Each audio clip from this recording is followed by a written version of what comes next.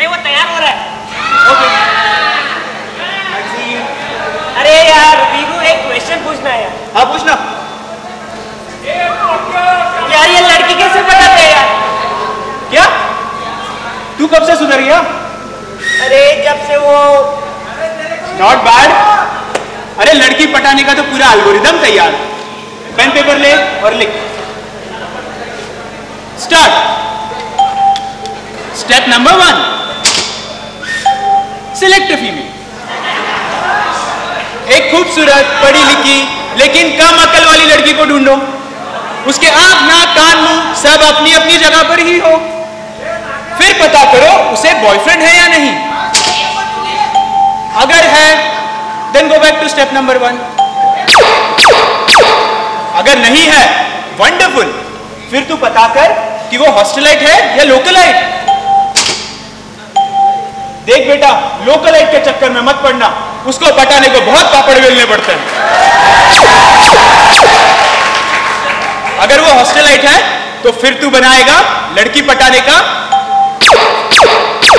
Budget तेरी लड़की किस कैटेगरी की है? तेरी लड़की कितने में पटेगी? मैकडोनल्ड्स का बर्गर या दुर्वांकुर का वड़ा पाव? उसके बाद गाड़ी पे घूमने का खर्चा, पेट्रोल के बिल्स रेस्टोरेंट के bills movie tickets etcetera etcetera etcetera इन सब का एक रफ एस्टिमेट बना। फिर देख, वो लड़की परवडेबल है कि नहीं? इफ़ परवडेबल, फिर आएगा लड़की पटाने का प्रोसीजर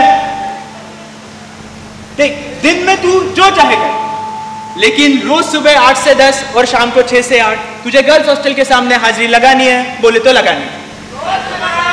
रोज रात को घंटों तक फ़ोन पे बातें एयरटेल टू एयरटेल टेन पैसे पर मिनट कॉलिंग का लाभ उठाएँ। मगर वो आइडिया का और दो मिनट फ्री वाला सिम क्यों नहीं यूज़ कर सकते? अबे हर दो मिनट बाद अगर तू फ़ोन काटेगा तो लड़की समझ जाएगी तू चिंदी चोर है। नेक्स्ट एपिसोड में। अभी ये प्रोसीजर 15-20 दिनों तक फॉलो कर। Then comes the D day propose. अब प्रपोज करने के लिए एक रोमांटिक इवनिंग हो कैंडल लाइट डिनर हो chocolates cakes pastries roses everything just so perfect लेकिन बेटा, एक चीज़ का खास ध्यान रखना, प्रपोज बिल पे करने के पहले करना। अगर वो तुझसे कहती है कि हम तो सिर्फ़ दोस्त हैं, मैंने तुम्हें उस नज़र से कभी देखा ही नहीं। इन शॉर्ट अगर वो तुझे दोस्ती और भाईचारे की मिली जुली बेल खिलाती है तो हाथ धोने के बहाने उठ ले और फूट ले।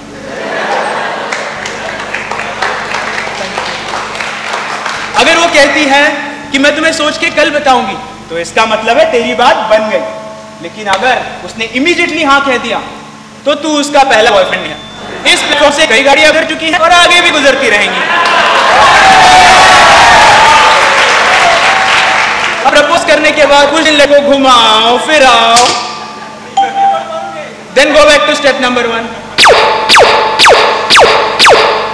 select a new female this is an infinite loop लड़की को ढूंढो उसे पटाओ उसे ढूंढो पटाओ घूम।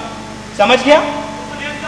लेकिन ये कैसे पता चलेगा कि लड़के तुझे लाइन दे रही है कि नहीं? उसका भी एक थियरम है।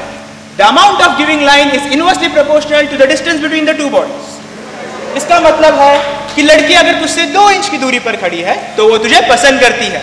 अगर वो बीस इंच की दूरी पर खड़ी है तो वो तुझे अच्छा दोस्त मानती है। और अगर वो पचास इंच की दूरी पर खड़ी है तो सबमिशन पास आए हैं, इसलिए मिलने आई है। और कोई डाउट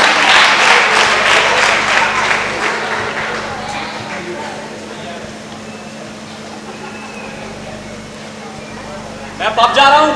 तुम लोग आते रहना बाद में।